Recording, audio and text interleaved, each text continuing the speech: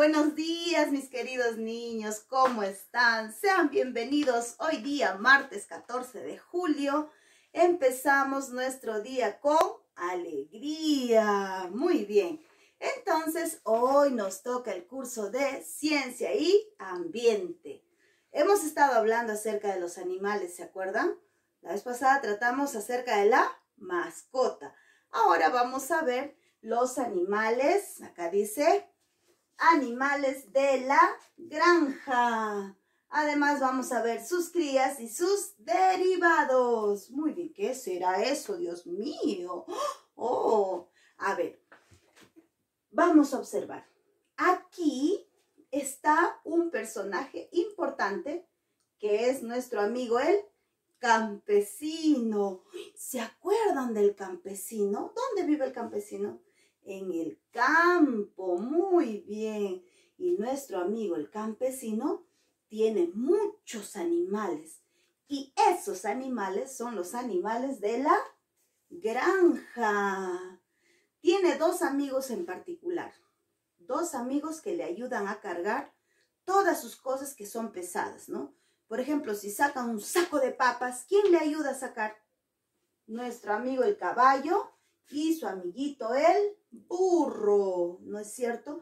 Ellos dos son fuertes y poderosos y por eso le ayudan a nuestro amigo el campesino a sacar las papas, los camotes, las lechugas, las cebollas, todo, todo lo que crece en el campo, ellos dos le ayudan a sacar al campesino.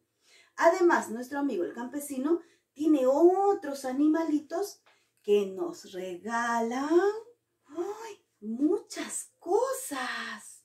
Sus productos. ¿Qué productos serán? Esos productos que ellos nos regalan nos ayudan a crecer fuertes y sanos. Ahora vamos a conocer, pero antes de conocerlos, primero vamos a ver que las que los animales también tienen sus familias, ¿ya? Tienen sus familias. Por ejemplo, acá tengo una fotografía de, a ver, ¿a quién estamos viendo ahí?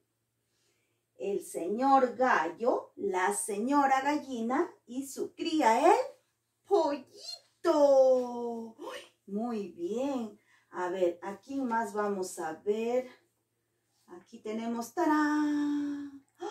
A ver. el señor pato con la señora pata y sus dos bebés. Tienen sus bebitos, ¿no? Y acá tenemos al señor cordero y a la señora ovejita. Tiene también su cría. ¿Ves?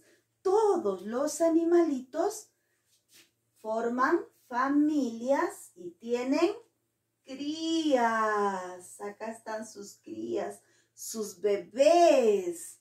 Muy bien. Ahora vamos a conocer los derivados de los animales. Los derivados, ¿ya? Por ejemplo, nosotros tenemos a este amigo de acá. ¿Cómo se llamará? Es un chancho o un cerdo, ¿no es cierto? Este amigo chancho, ¿saben qué nos regala? Nos regala su carne para comer ricos chicharrones, ¿no? Muy bien. Ahora vamos a ver, han venido tres amiguitas con sus canastitas y nos van a explicar qué cosa nos regalan los animales. Por ejemplo, aquí en una canastita tengo a la señora Vaca. ¿Qué nos ha traído la señora Vaca? ¡Oh! Una leche. ¿Qué nos regala la señora Vaca? La leche. Muy bien. ¿Qué le vamos a decir a la señora Vaca? Gracias, señora Vaca, por regalarnos tu leche. Además, ha venido nuestra amiga la oveja. ¿Qué nos trae la señora oveja? ¿Qué nos regala? La lana para tejer nuestras chompas, nuestras chalinas, las medias, nuestros gorritos, ¿no es cierto? Qué linda la señora oveja. Muchas gracias, señora oveja, por regalarnos tu lana para abrigarnos. Y además, ha venido la señora gallinita. ¡Uy! ¿Qué nos traerá la señora gallina? ¿Qué nos regala? ¡Uy! Acá está, ¿ve? ¡Huevos! ¡Ay, qué rico para hacer huevo frito! Huevo sancochado. Para hacer además las tortas. Para que la mami cocine, ¿no? ¡Qué rico! Gracias, señora gallina, por regalarnos tus huevitos tan deliciosos que son.